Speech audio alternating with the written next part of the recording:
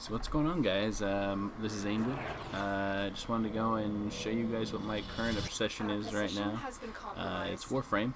Uh, I know this game's been out for a little while, but I do a lot of Warframe stuff. Like within the last, I want to say like month or so, my hours have went from 20 hours where I was just like trying it out from like a really super long time ago to I now have almost 300 hours in the game. I make platinum every day. I have a clan going. The clan's still new. It's mainly just friends right now, but I want to go and get a lot of people in there and have us all like grow together and whatnot. But uh, currently though, right now, it's a pretty fantastic game. It's what I'm putting 90% of my time into. Uh, in this footage, you see me running around on my Frost, just dicking on stuff with my Paris Prime bow. I just got this bow. It's not bad though. I really, really like it. Uh, I also have Soma Prime. That's like what. That's the main thing I normally run with. Um, you don't get to see it in this video because uh, my kitchen almost burned down. but uh, we make it to round 30 in this particular. This is uh, Tower 4. I'm pretty sure.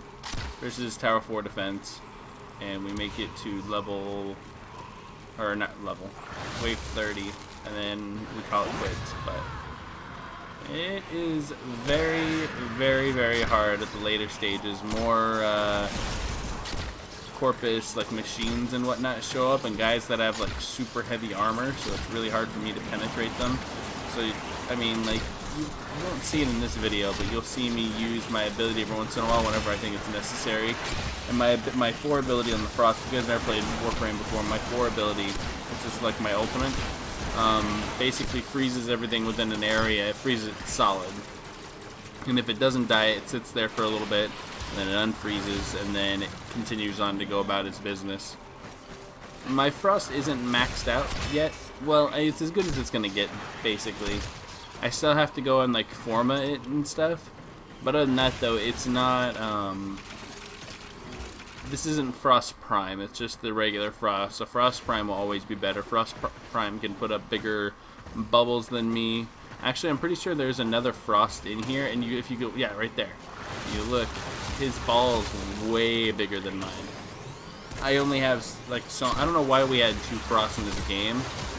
I think it was because they asked for Frost, and then I showed up, and then they got a Frost Prime, and before I could switch over to my uh, Inaros, which is the new dude, the new the new Warframe on um, on here, before I could switch to him, they had already started the started the match. So that's the reason why at the beginning you kind of see me like looking around, and then I'm like hopping around or whatever. They just they started the timer, and I didn't have enough time to go switch out. On this particular uh, Frost build, I have uh, Freezing Force, I think is what it's called. Basically, I can put a buff on my allies and make it so that they do, um, it's like 100% uh, cold damage, and that buff lasts on them for like 45 seconds, so they can sit there and just freeze, like, get the cold uh, debuff on everything and just start dicking on it, which is cool. It's not overly important, but it just adds a little bit more extra damage that they can do. Uh, I don't really know what else to go and tell you guys. If you guys have any questions or anything, write them down in the comment section below, and I'll make sure that I get back to you on it. Oh, right here, right here. So I wasn't really paying attention, but you see that uh, flash? That's the Stalker. Oh, here, here's flash again. Oh man, so intense. Stalker shows up and we just all start wailing on him. The Stalker is really cool. He's like this guy that shows up if you beat too many bosses too free, like too many. if you are like farming bosses, there's a chance of uh, him showing up. He'll send you an email and be like, "Yo, you made a big mistake" or some shit like that. And then when you go into void missions or go anywhere, go on any mission, he'll show up and try to be a little dickhead. Right there, there he is, right there. We start wailing on him, wailing on him, and wailing on him. He doesn't take very much damage from Tenno power, but you just basically have to just sit there and wail on him. And we didn't get shit from fighting him either. We got the Molten Impact and that was it. So sad.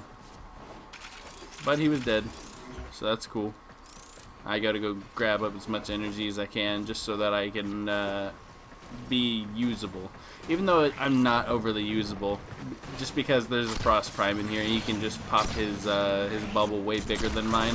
The way that the bubble works is it's basically like a shield, and well, it is a shield. Stuff can't attack you while you're inside of it, but did you see that 20k crit? Oh my god.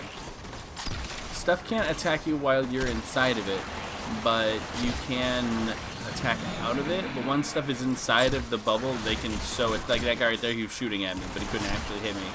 Whether that's because he has really shitty aim or whatever. But uh, it's really, really cool.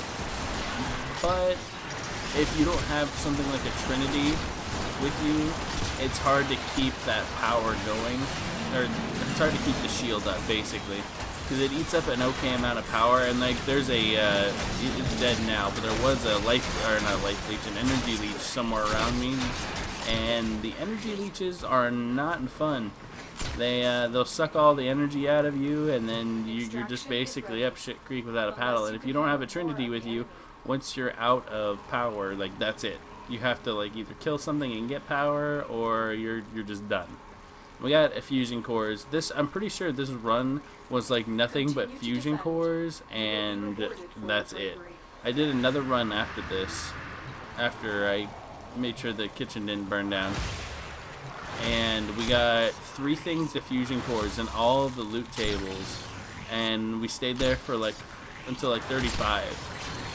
We just got shit loot. It was terrible. But yeah, guys, uh, let me know down below if you guys want me to keep on putting up Warframe videos. I really like this game. Um, and so I would be down to continue to record this game if you guys were, like, if you guys wanted to see it. If not, I'll continue to play this game and not upload it, and we'll still go and get Pixel Piracy. I am looking for something else besides just Pixel Piracy to go and upload to the to the channel, though. So, so let me know what you guys think down below. I'll see you guys later. All right, bye.